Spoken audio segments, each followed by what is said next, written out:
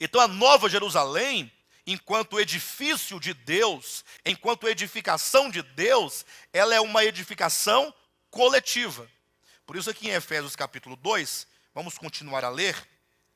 Versículo 20 diz: edificados sobre o fundamento dos apóstolos e profetas, sendo ele mesmo, Cristo Jesus, a pedra angular. Então a própria Bíblia decifra, não tem o que muita coisa a se fazer. Se Jesus, ou seja, vamos pensar numa edificação. Uma edificação tem que ter pelo menos três pedras que são as mais, são as mais importantes, são as principais. É a pedra de fundamento.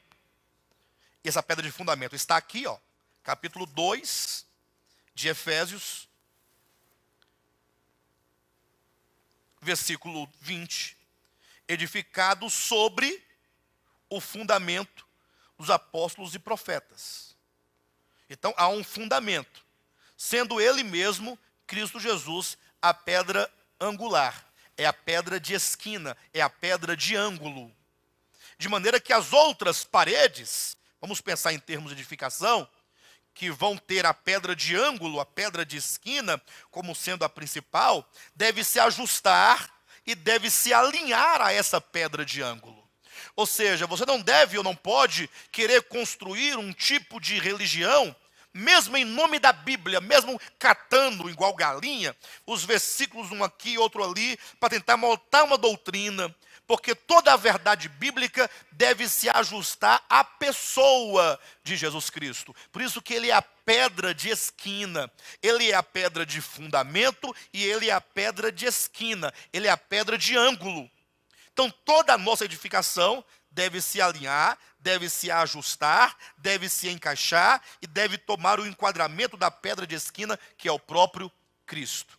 Eu digo catar um pouco aqui, um pouco ali, como a galinha vai catando, vai comendo um mizinho ali, outro ali, um cesquinho aqui, outro ali, porque é costume, é tendência e é tradição do povo de Deus montar e construir a doutrina que ele quiser, ainda que aquela doutrina nada tenha a ver com o Espírito de Cristo, nada tem a ver com a pessoa de Cristo, com o coração de Cristo, com os propósitos de Cristo, e eles conseguem fazer cada doutrina monstruosa que na verdade manifesta aquilo que o próprio homem é.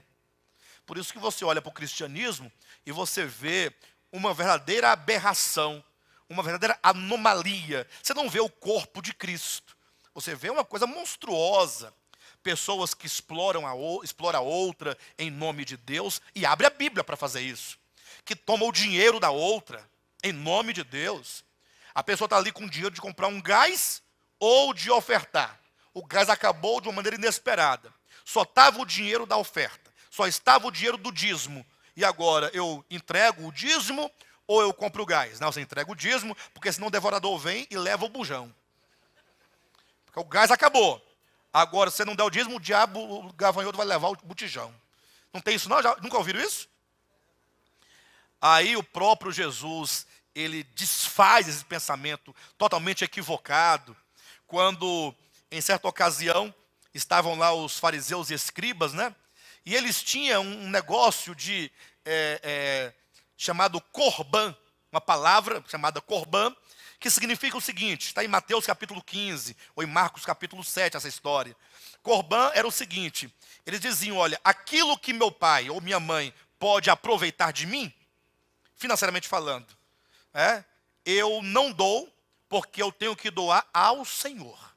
Então você imagine só, se o seu pai ou a sua mãe precisa de um alimento, precisa de um remédio, precisa de alguma coisa nesse sentido. E você fala: não, eu não posso dar esse dinheiro a meu pai ou a minha mãe, porque isso aqui é oferta ao Senhor. Os fariseus faziam isso em nome de Deus, é oferta ao Senhor. Aí Jesus falou assim: com essa tradição, ó, com essa tradição, isso era uma tradição no meio deles. Tradição quer dizer, alguém um dia inventou isso, isso passou de um para o outro, de uma geração para outra, e chegou a um ponto de se estabelecer na mente, na, no, no, no consciente coletivo daquele povo, que todos faziam isso de maneira muito natural.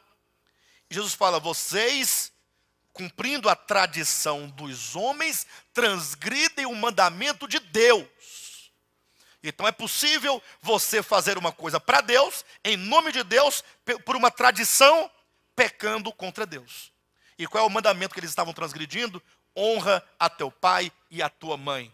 E aí Jesus inaugura um novo conceito de honrar pai e mãe. Diz que honrar pai e mãe não é só dizer sim senhor e sim senhora, mas é ajudá-los nas suas necessidades. Que maravilha. Então, as pessoas criam essas doutrinas monstruosas, porque é monstruoso. Como é que você pode é, negar um auxílio para o seu irmão, ou que seja para o seu inimigo que está caído, prostrado à beira do caminho, porque você diz, em nome de Deus, eu não tenho tempo de socorrer aquele que está prostrado, porque eu tenho uma atividade no templo. Não foi assim que disse ou que pensou aquele sacerdote que descia é, e viu ali caído à beira do caminho aquele, aquele homem que estava prostrado?